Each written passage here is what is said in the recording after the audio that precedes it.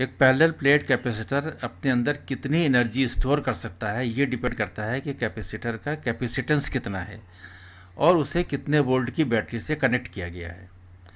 तो मान लीजिए कि ये कैपेसिटर है, इसका कैपेसिटेंस सी है और जिस बैटरी से इसे कनेक्ट किया गया है, उसका वोल्टेज वी है। तो इस कैपेसिटर के अंदर जो एनर्जी स्टोर होगी, वो होगी हाफ़ सी वी स्क्वायर। तो ये कैसे स्टोर होगी, इसी का डेरिवेशन करेंगे इस वीडियो में। तो कैपेसिटर की प्लेट्स ये कंडक्टिंग प्लेट है, इसके बाद बहुत सारे फ्री इलेक्ट्रॉन्स हैं। और इस वक्त यहाँ पर कोई चार्ज नहीं है, इसका मतलब यहाँ पर पोटेंशियल ज़ीरो है। और इस बैटरी में पोटेंशियल वी है, इसका मतलब ये पोटेंशियल हाई है।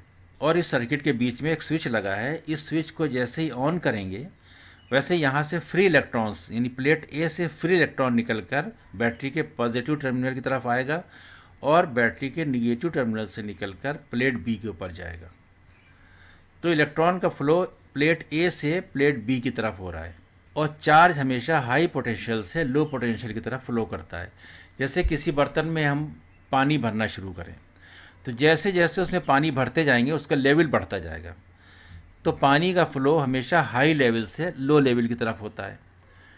अगर किसी बॉडी को हम हीट दे रहे हैं हीट देने से उसका टम्परेचर बढ़ रहा है।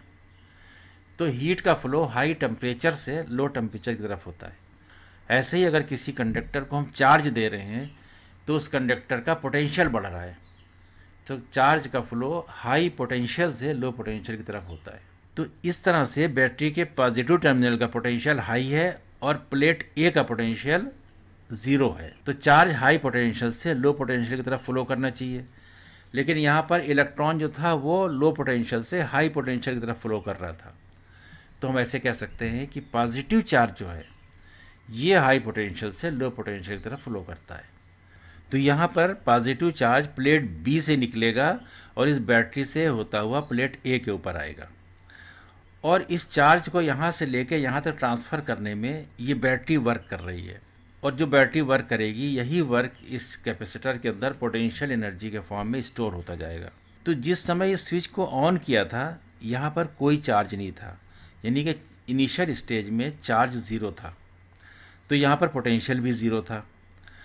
अगर पोटेंशियल ज़ीरो हो रहा है, यहाँ पे चार्ज नहीं है तो यहाँ पर कोई इलेक्ट्रिक फ़ील्ड नहीं बन रही है तो इलेक्ट्रिक फ़ील्ड भी ज़ीरो है।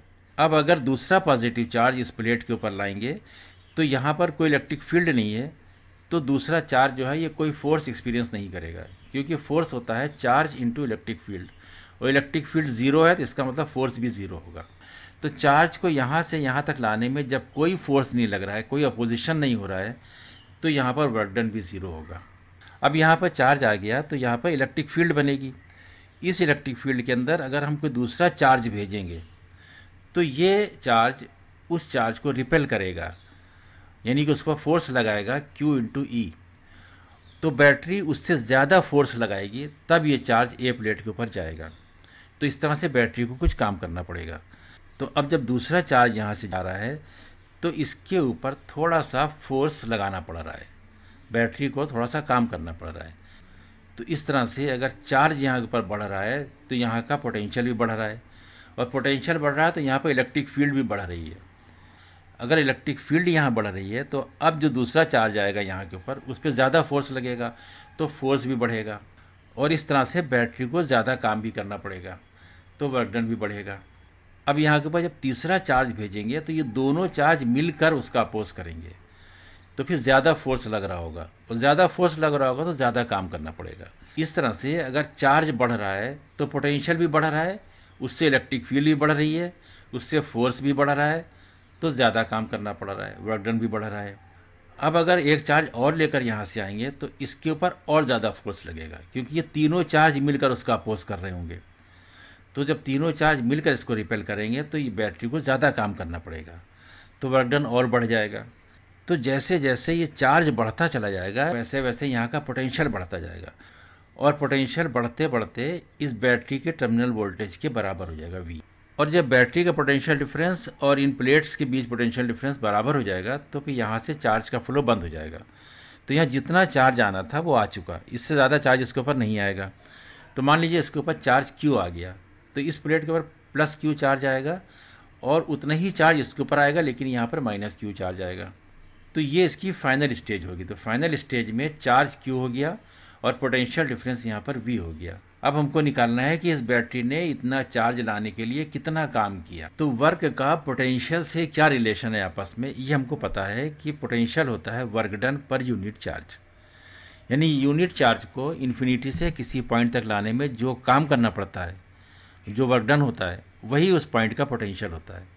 तो potential is equal to work done per unit charge यानी कि v is equal to W by Q तो वर्क क्या हो जाएगा? वर्क हो जाएगा v इंटू क्यू यानी कि पोटेंशियल इंटू चार्ज तो अब यहाँ पर अगर हम इस चार्ज को इस पोटेंशियल से मल्टीप्लाई करें तो क्या यहाँ पे वर्क निकल आएगा?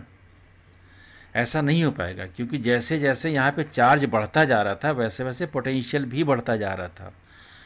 तो ये पोटेंशियल यहाँ पर वेरिएबल है। ऐसे समझ लीजिए कि जैसे एक ब्लॉक है, इसके ऊपर अगर फोर्स लगा रहे हैं तो ये ब्लॉक डिस्प्लेस होगा यहाँ से और ये डिस्प्लेसमेंट मान लीजिए डी है। तो वर्क डन होता है फोर्स इंटू डिस्प्लेसमेंट का डॉट प्रोडक्ट तो यहाँ पर फोर्स कांस्टेंट है। यहाँ पर जितना फोर्स लग रहा था, उतना ही फोर्स यहाँ भी लग रहा है। तो पूरे रास्ते में फोर्स कांस्टेंट है। अगर फोर्स चेंज हो रहा होता रास्ते में तो फिर ये वर्क डन नहीं लगता। इसी तरह से यहाँ के ऊपर भी पोटेंशियल चेंज हो रहा है। जैसे जैसे चार्ज बढ़ता जा रहा है, वैसे वैसे पोटेंशियल बढ़ता जा रहा है। तो फिर ये फार्मूला यहाँ भी नहीं लग सकता। तो फिर हम एक इंटरमीडिएट सिचुएशन कंसिडर करेंगे, जिस वक्त यहाँ प्लेट के बीच का पोटेंशियल वी डैश्ड था। तो पहले पोटेंशियल ज़ीरो था ज़ीरो से बढ़ते बढ़ते वी हो गया। तो बीच में कहीं भी वी डैश्ड मान लिया हमने। और उस इंस्टेंट के ऊपर इसको एक बहुत ही कम चार्ज बहुत ही स्मॉल अमाउंट ऑफ़ चार्ज इसको दिया D Q D Q charge जो है वो टेंस टू ज़ीरो है, बहुत ही छोटा चार्ज है। तो वो चार्ज देने से जो यहाँ पर पोटेंशियल में चेंज आएगा, वो निग्लिजिबल होगा। तब ये कहेंगे कि पोटेंशियल में कोई चेंज नहीं आ रहा है पोटेंशियल कांस्टेंट हो गया। तब ये फार्मूला लग सकता है। तो डी क्यू चार्ज देने में जो बहुत ही छोटा वर्क किया गया है very small amount of work वो होगा V dashed into D Q तो टोटल वर्क कितना होगा? टोटल वर्क जो होगा, इसको इंटीग्रेट कर देंगे और इसकी लिमिट रखेंगे कि चार्ज यहाँ पे ज़ीरो था पहले और चार्ज यहाँ मैक्सिमम क्यू हो गया। तो इसकी लिमिट रखेंगे ज़ीरो से क्यू तक। अब इसको इंटीग्रेट करेंगे क्यू के रिस्पेक्ट में। तो वी को क्यू की रिस्पेक्ट में तो इंटीग्रेट कर नहीं सकते और ये कांस्टेंट मान रहे हैं तो इसको हम इंटीग्रेशन से बाहर भी नहीं कर सकते। क्योंकि ये इसका फ़ंक्शन है क्यू का। जैसे जैसे चार्ज बढ़ रहा था, वैसे वैसे वी बढ़ रहा था। ये इसके ऊपर डिपेंड है।